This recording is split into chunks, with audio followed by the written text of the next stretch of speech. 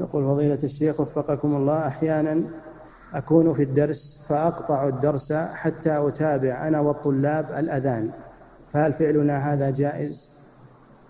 أحيانا أكون في الدرس نعم. فأقطع, فأقطع الدرس حتى أتابع أنا والطلاب الأذان فهل فعلنا هذا جائز؟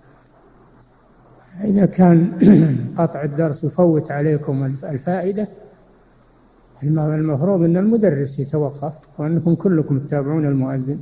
أما إذا المدرس ما توقف ويبي يفوت عليكم الفائدة فواصلوا واصلوا متابعة المدرس لئلا تفوت عليكم الفائدة.